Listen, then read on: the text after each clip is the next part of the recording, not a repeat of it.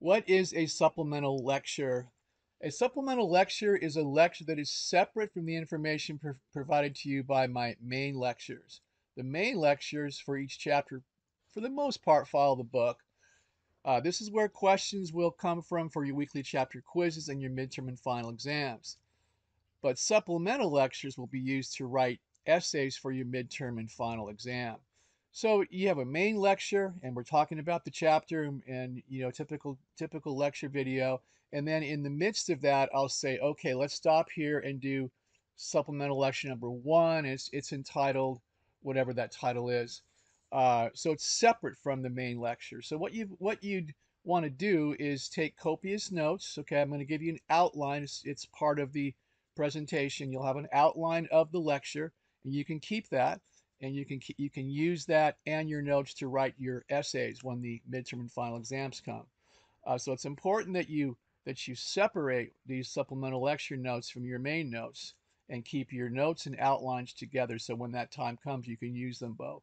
So essentially the outline is it'll get it's an outline of, of what I'm talking about and you can pretty clearly see that I'm following it.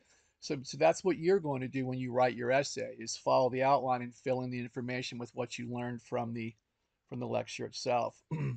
so what does supplemental mean? A supplemental is something that is provided in addition to what is already present or available to complete or enhance it.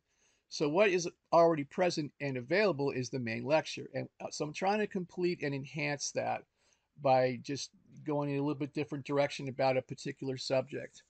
So these are lectures developed by me. They could come from the book or perhaps from another source. So throughout our class, you will be given 16 of these throughout the entire class, eight before the midterm and eight before the final exam.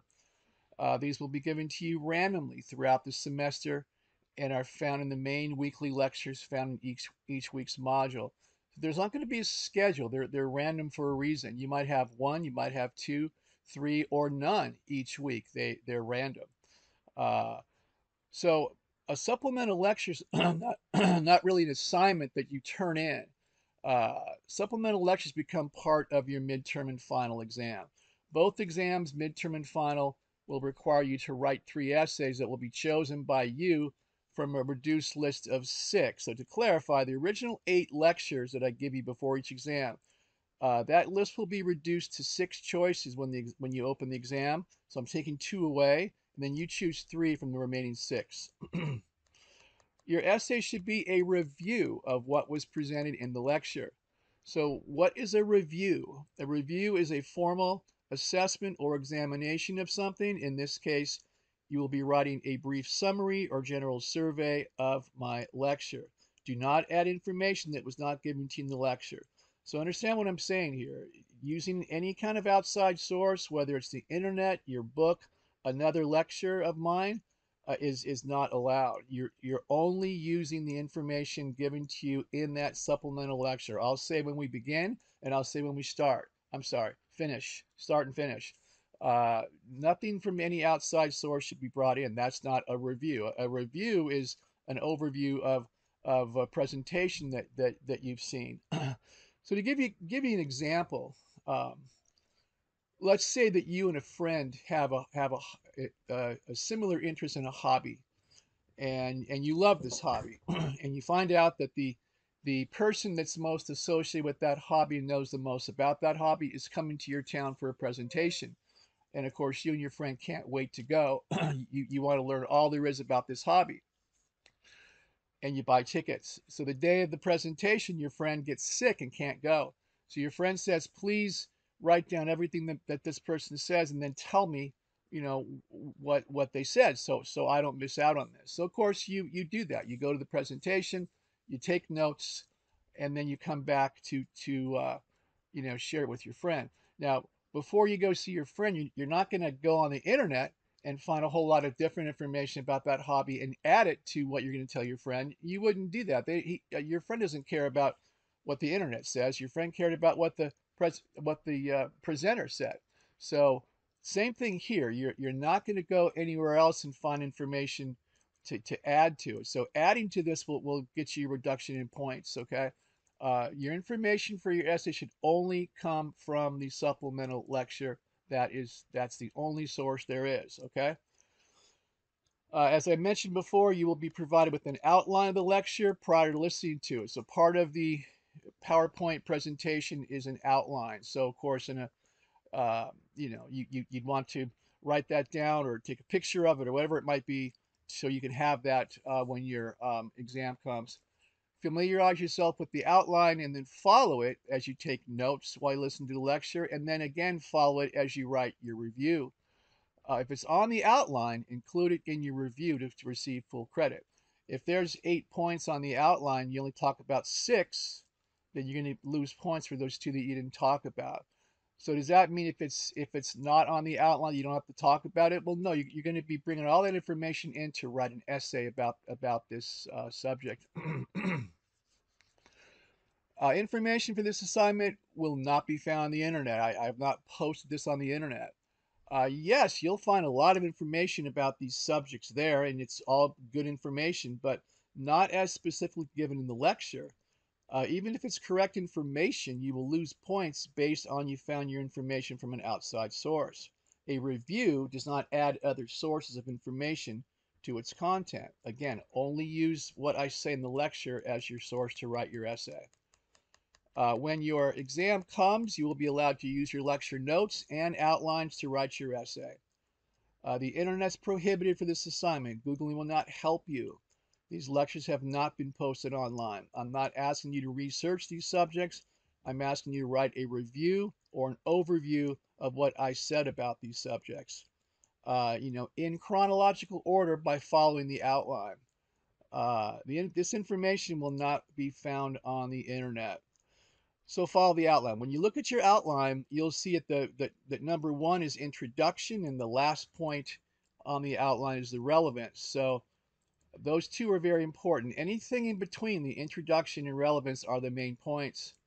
So when you write your your uh, essay, you're going to write a brief introduction based on what I said in the introduction that's on the outline. Then you describe the main points of each subject, and you, you're, you're going to connect them all with your writing. Uh, and, and, it could be, you know, it, it just depends on the on the uh, lecture itself. Uh, you know how many main points there are. But again, any anything in between the introduction and the relevance on your outline are the main points. So describe the main points of each subject in in simple detail, not in a long, you know, flowing, uh, uh, you know, dissertation. We're looking. It's, it's a review. You know, it, when you go to a to the movie theater and you watch a preview of a movie, you know, a two-hour movie, a, a preview might be three minutes. So the same thing here. You know, you're looking at a 15 or so minute lecture uh, don't write a 15 minute paper. Uh, it shouldn't be more than a few minutes. It, it, it's, a, it's a short, concise, simple to the point review. Uh, write your brief introduction, just hit the main points of what I say in the introduction, and then each main point and connect them with your writing, and then state the relevance at the end of the um, at the end of the, your essay. Uh, you'll have 85 minutes to complete the, these three essays, a typical uh, you know class uh, uh, time. I'm not looking for a lengthy discourse, so understand that, I'm not looking for five or six pages of, of, of a paper here. Uh, be simple, concise, to the point. An acceptable length for these essays, a review is about a page long, give or take, depending on your writing style. So I, I'm not looking for two or three pages. I'm looking for a simple, to the point review of the lecture. Uh, a long paper with too much detail is not a review, and points will be taken off for papers with excessive details. So I would say places where people, students can go wrong is they jump right to the main point. So uh, as you'll see in, in all the outlines, the number one is introduction, and I make a point about something. Make sure you include that, okay? Same thing with the relevance. State the relevance of the subject as given to you in the lecture at the end of the essay. And it, it is acceptable for you to write that word for word as I stated in the in the lecture. Not not anything else, not the rest of the essay, just the relevance. So I'm so so it's clear that you understand it and and have it and know it. So I will accept word for word for the relevance. If you want to put it in your own words, that's fine too, but make sure you cover all the points that are given to you in the relevance. So the introduction is always first. You you write about your main points next, and you end the essays with your relevance. Okay. Uh, Okay, so back to the, the size of the paper.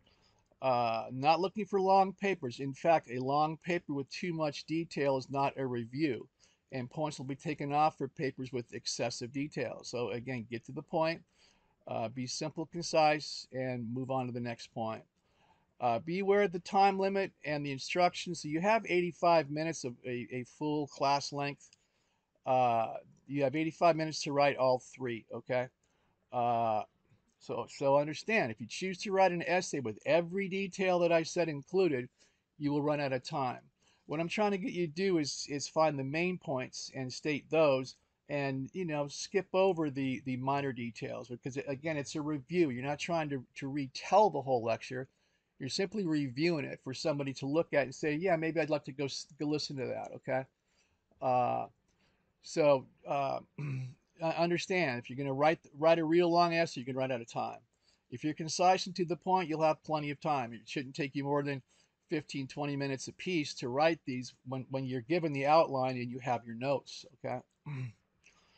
Uh, please write the assignment as an essay. Don't don't make a list. You know, have a list of of of items or bullet points or fragmented sentences. It's an essay. You're, you're writing an essay. You're telling me a story. Uh, and of course, as always, please let me know if you have any further questions. Thank you.